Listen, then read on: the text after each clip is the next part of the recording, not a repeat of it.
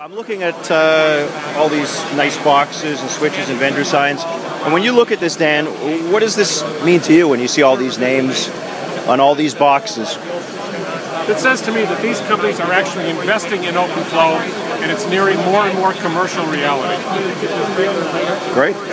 Now, when you ONF started a year ago, would we have seen a demo with this many different vendor names all over it? Probably not, I would assume. So there was an OpenFlow lab at Interop a year ago. Sure. I don't remember it being this big. Had it four years. They hadn't had yeah. any, any, open, any uh, InteropNet lab.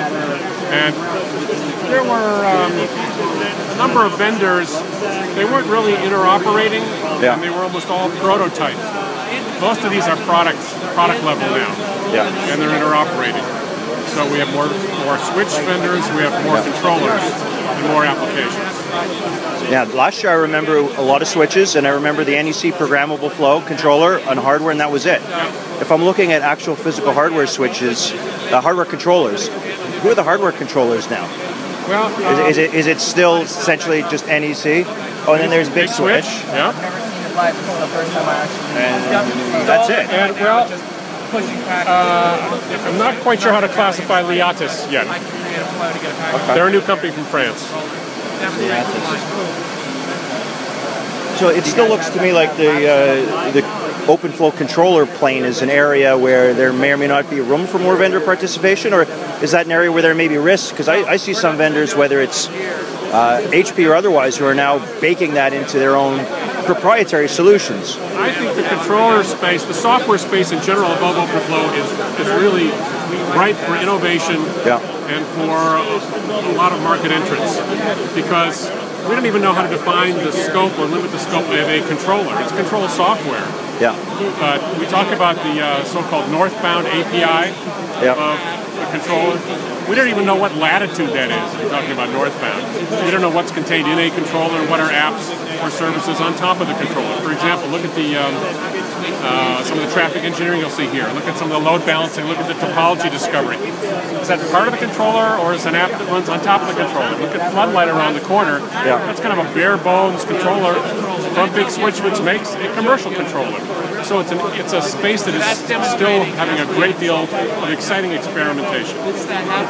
Sounds good. When you look at, uh, and I know we talked about this not that long ago, when you look at OpenFlow, you just talked about some of the potentials. What do you see as the, as the challenges or potential barriers to adoption, if any, right now? Well, I think the vendors are trying to figure out what to build, and the uh, enterprises are trying to figure out what to buy. They know it's going to help them, they haven't figured out exactly where. Yeah. And so I think the biggest question is what comes out first.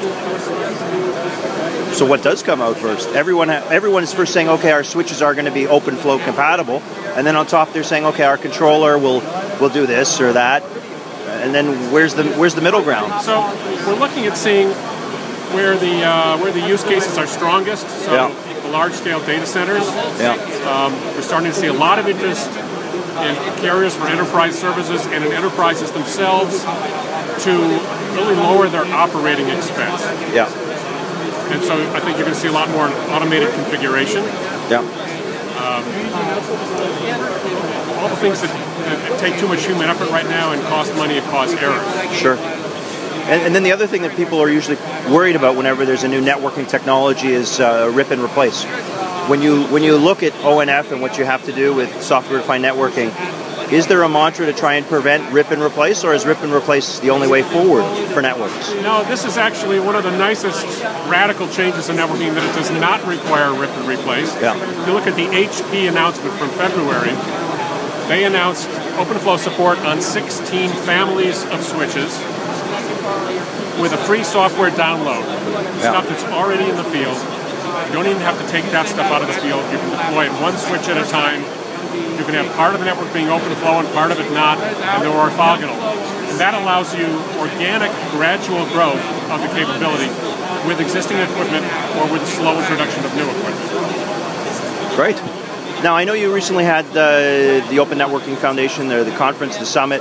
Uh, some things came out of that. Uh, it was uh, all kinds of interesting announcements. When you look at the next set of conferences and summits that you have, are there certain key milestones you're looking to achieve in terms of either consensus among vendors for a protocol or, or some other sort of larger direction? Well, I think we have consensus on the protocol, and that's being standardized, and we just issued a new version of that, approved a new version of that. I think what we'll see over time is um, more commercial announcements from both the vendors and the service providers. Yeah. And we'll, and we'll have more um, citations of installations and enterprises you know, that we can quote. Like NEC has two here today from Sure. uh, uh, Genesis hosting in Chicago and Right. uh, Nippon Express in Japan. We'll have uh, more enterprises that are willing to say, hey, I've done it, here it is, you can talk about me. Got it. Good. Uh, and then on the uh, risks of proprietary versus open, I know OpenFlow itself is, is an open protocol. There may or may not be some proprietary overlays that people try and do for control. How do you prevent any part of uh, the ONF's mission, whether it's OpenFlow or otherwise, from becoming proprietary lock-in? So, you know, we're all about open interfaces and an open marketplace. And we're trying to make sure that the protocol itself has enough of the basic features that it satisfies a large part of the market. And that the innovation takes place mostly in software and therefore is easily interchangeable. We're also doing a lot to promote interoperability between the existing implementations.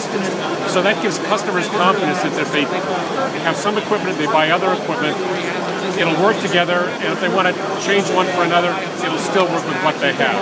So it's really about customer assurance. The market will ultimately decide how much it wants to go proprietary and how much it wants to go standard. It's mostly voted for standard.